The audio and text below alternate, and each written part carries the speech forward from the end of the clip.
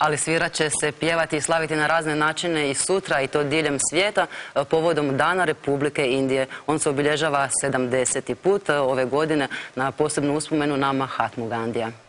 A naš gost je njegova ekscelencija Arindam Bakći, veleposlanik Republike Indije u Hrvatskoj. Dobar dan. Thank you. Hello. Mi smo e, pronašli podatak kako je Mahatma Gandhi utjecao na našeg Stjepana Radića. Što znate o tome? Um, as you know, Mahatma Gandhi Kao što znate, Mahatma Gandhi je svjetska uh, ličnost. uh, influenced. Mnogi ljudi diljem svijeta su uh, se ugledali na njega i drago mi je da su hrvatski velikani utjecali, odnosno influence našli u njemu truth, uzor, uh, njegova nenasilna uh, borba, borba za istinu i njegov doprinos da naša zemlja postane neovisna, bez nasilja. Njegovi ideali još uvijek su prisutni danas i utječu na modernu Indiju I ja danas. ću dodati ovaj podatak. Radić je 1924. dao prevesti iz francuskoga i tiskati knjigu Romana Rolana Mahatma Gandhi pod znakovitim naslovom Naš Gandhi. Evo, Kako ste i rekli, ovaj, Gandhi je utjecao zapravo na ljude diljem svijeta, ali zašto je on posebno značajan za Indiju? Što biste onako posebno izdvojili?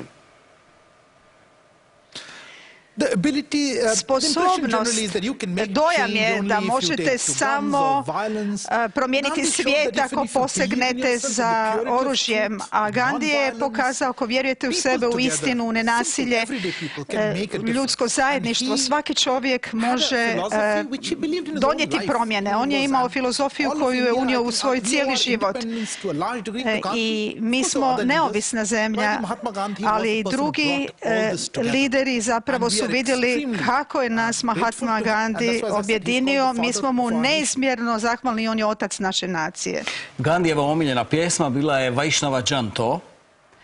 Što znate o toj pjesmi?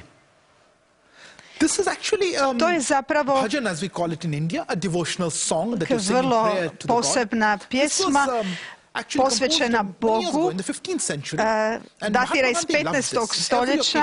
Mahatma Gandhi je volio ovu pjesmu, slušao ju je, pjevao uh, u svakoj prigodi i play kad se this, mi sjećamo njega, mi zapravo izvodimo ovu pjesmu. Zapravo su tu pjesmu otpjevali umjetnici iz 124 zemlje, među njima su i hrvatski glazbenici, pa predlažem da poslušamo kako to zvuči.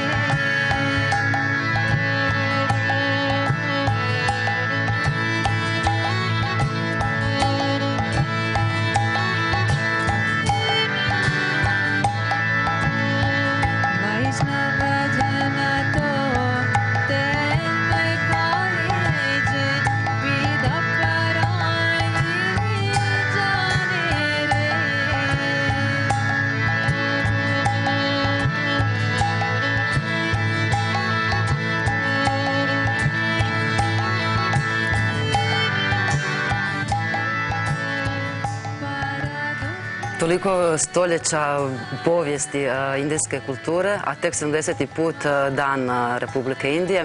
Kako to? A. Pogledajte, Indija nije samo zemlja, to je civilizacija, to je kontinent. Indijska civilizacija 7,000 years je, neki kažu, civilization. 7000 But godina stara.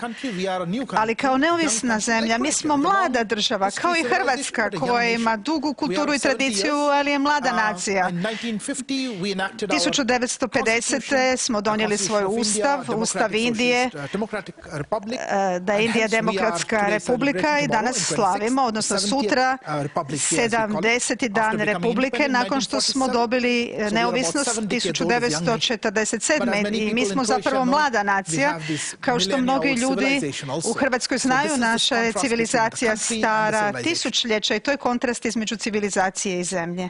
Evo ja bih sada e, pokazao vaših 20 rupija e, da naši gledatelji vide e, ovu e, novčanicu. To je vrijednost otprilike nekih dvije kune, ali bismo s njom mogli u Indiji priuštiti sami sebi e, pristojan obrok i e, 20 rupija, evo, e, napisano je na nekoliko jezika. Kojim jezikom zapravo govorite u Indiji?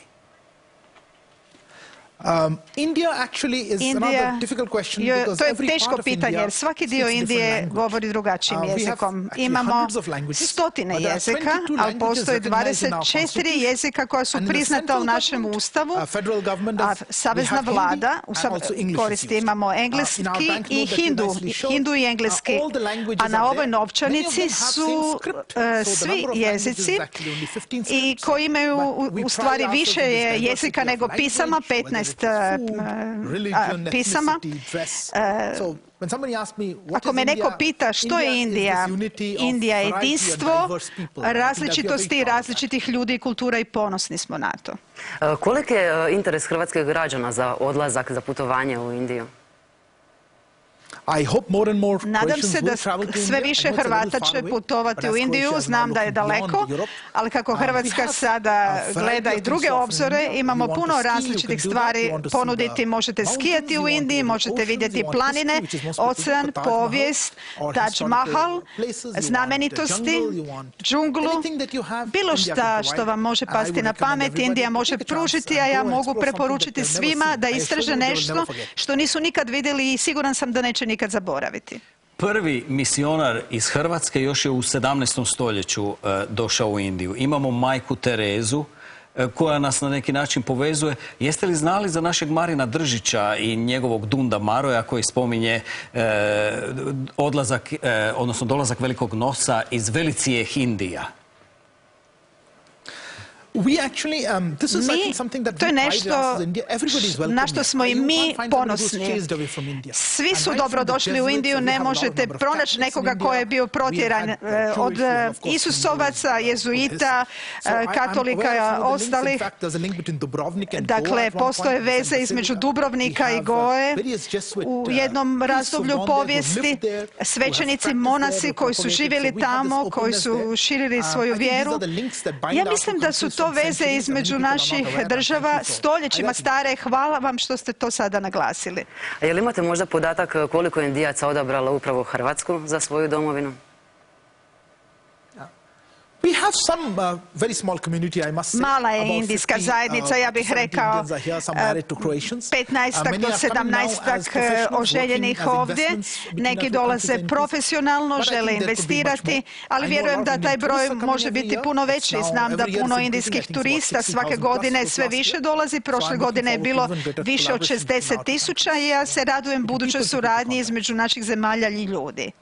Sretan vam dan Republike Indije, sretan vam proslava u Hrvatskoj i hvala lijepa što ste bili naš gost.